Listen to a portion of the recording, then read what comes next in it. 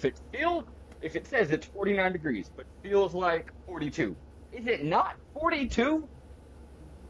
Mm, I don't know. I mean, it could just be like the wind, because you know, whenever the wind's not blowing, it doesn't feel as cold as whenever it is blowing. you know? Wind chill's a a factor, but they talk about the wind chill.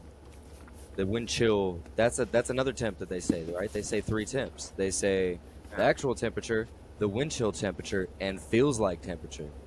I want to know where you go to school for this fucking feels like temperature gig, because I want to be able to walk Right. outside and be like, it feels like it's 16 degrees outside. It's 50. You know, like how the fuck? Where is that calibrated? No, I agree with you. Like, how do they test that? Like, how do you know? Because when you put a thermostat outside, it just tells you what it is.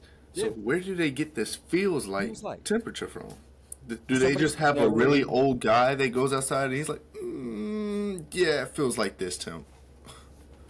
It's a wizard. It's a wizard that we don't know exists. It's just his whole entire job on this planet is to know what feels like temperature is. Knows what it feels like. The only spell he can cast. Isn't so do you think that's a certain subjective? job position? It has to be. Somebody has to be the feels like person, right? Am I wrong?